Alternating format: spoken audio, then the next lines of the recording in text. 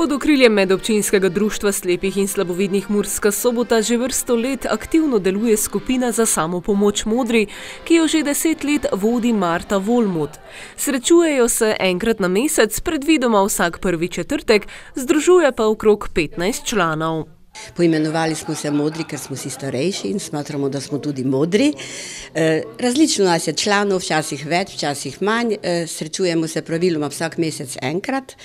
Pač, ko pride, imamo pa različne aktivnosti. Večkrat imamo tudi samo pogovore, da se pogovorimo, e, k sebi vabimo tudi različne strokovnjake, da nam še kaj drugega razložijo.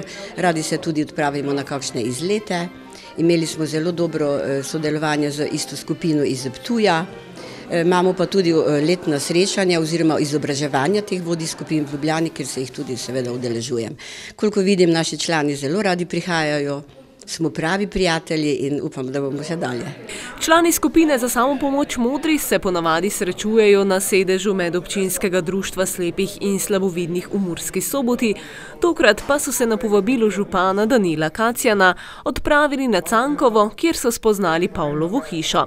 Kot pravi župan je nekaj občanov članov omenjenega društva, zato jih z veseljem gostijo. Ljudje potrebujejo tudi neki mir in mir misli, da v tem našem današnjem srečanju bo marsikdo najdel. Tudi jaz sam sem ga najdel kot župan, da sem videl te ljudi, kljub temu, da imajo neke hibe, da imajo neke težave v življenju, jih prenašajo tako dobrosrčno, kot malo kdo tisti, ki se sploh ne zaveda, kaj pomeni biti zdrav. In zato moramo tem ljudem res povedati hvala. In če bomo se po njih zgledovali, sem pripričan, da se Sloveniji pišejo lepši časi in da ne bomo imeli toliko nekih negativizma in da kljub temu, kaj nas je danes prizadelo v letošnjem letu, če bomo se po njih zgledovali, bomo lahko tudi to zadevo sanirali. Samo strpni moramo biti, se pogovarjati z drug drugim.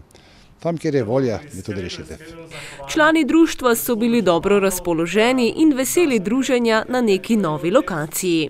Mislim, da je ta skupina ravno tista pravšnja, pravšnja katera vedno debatira o vseh stvarih na svojih srečanjih, da obiščemo tudi eh, to hišo doktorja, eh, doktorja Augusta Pavla. In danes smo slišali stvari, ki jih nismo ravno vedeli, eh, kako pomembna osebnost je bil eh, v tem prostoru, pomorskem prostoru, eh, dr. Pavel. In verjamem, da bo to domače vzdušje, katero slišimo v ozadju, zelo prispevalo k eh, verjetno kar nepozabnemu spominu ali pa dolgemu spominu naših članov eh, na ta današnji dopoldan. V skupino za samopomoč sprejemajo vse, ki imajo težave z vidom, slepe, slabovidne in tudi njihove svojce, spremljevalce. Vsako leto se jim kdo na novo pridruži. Bodo pa tudi v prihodnjem letu imeli kar nekaj tematskih srečanj. Zdaj, če bomo v januarju, bomo mogoče kaj malo probali glede teh praznikov, potem februar je kulturni praznik. Vedno kaj pripravimo, tudi kakšno preberemo, kaj, kakšne pesmi povemo. Glavno posvetimo se, potem marca je 8. marec, potem so že tisti prazniki, velika noč, 1. maj in tako dalje. Od vsega začetka je član skupine tudi Zdenko Šmit, ki se z veseljem udeležuje vseh organiziranih aktivnosti. Zadovoljen sem to, prihaja na to skupino malo se družimo, se izpovedamo svoje dobre, slabe, slabe stvari in v glavnem cajt, se, cajt gre, pa se nekaj človek navadi, nauči iz tih pogovorov, kaj iz zgodovine se dosti menimo, nekaj iz kulture tudi tak. Glede razvoja primerne infrastrukture za slepe in slabovidne osebe pa izpostavlja.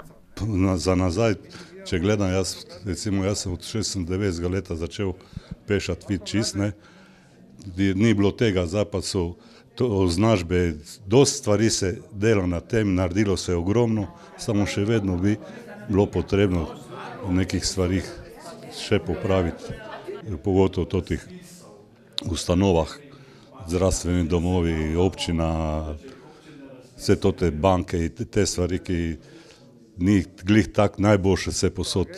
Tem temam posvečajo pozornost tudi na vsakomesečnih druženjih, na katerih poskušajo svoje člane tudi primerno izobraziti za uporabo razne tehnologije, ki jim lahko olajša vsak dan. Dodajmo pa še, da je medobčinsko društvo slepih in slabovidnih letos nadaljevalo z urejanjem poslovnih prostorov in dokončalo dve večji investiciji. Eh, to je ta nadstrešek, odnosno ta park eh, z nadstreškom eh, blizu, blizu nas, blizu naše poslovne stavbe, ki bo nekako omogočal tudi aktivnosti izven te naše terase, pa izven naših prostorov. To bo verjetno bolj prisotno, bolj, bolj prisotno v, delu, v poletnem delu. No, namestili smo tudi, če lahko tako rečem, zaradi naše varnosti in varnosti naših članov, tudi video nadzor. Morda bo kdo to opažen, ampak ta video nadzor nadzira samo naš del. Nam je zaupal predsednik društva, preden so se skupaj s člani podali na ogled Pavlove hiše.